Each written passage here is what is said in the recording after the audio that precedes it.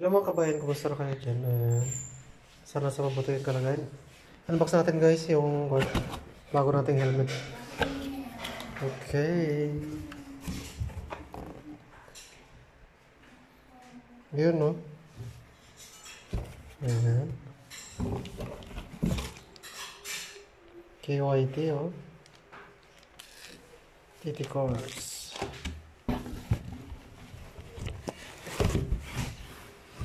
Yan oh. Yan siya gusto. Okay. Third class helmet. Tapos ito yung box niya.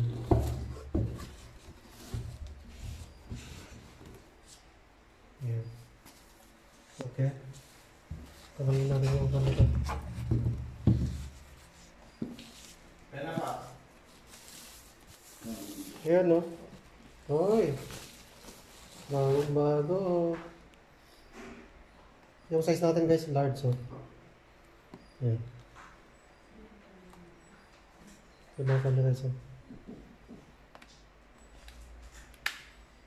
Para sa airband. Yan. Tapos dito rin. Yan. Tapos sa loob. Yan. Lapit ang labot nito sa loob guys oh. Ito yung lock niya oh. Ayan.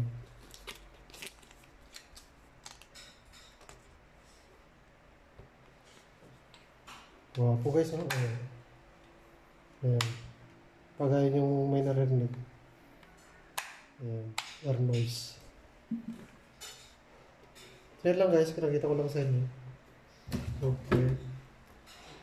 Ayan. Kamay kan manufactured by Pete. Okay, ito guys ang model niya. KYT TT course color arbolin no replica size large. Serial number guys 210710299296. Okay. Yan lang guys, pinakita ko lang. Okay, suot ko muna. Para makita nyo. Kailangan guys dito, bakit muna mag-susot. Yan. Yan. Tignan nyo guys.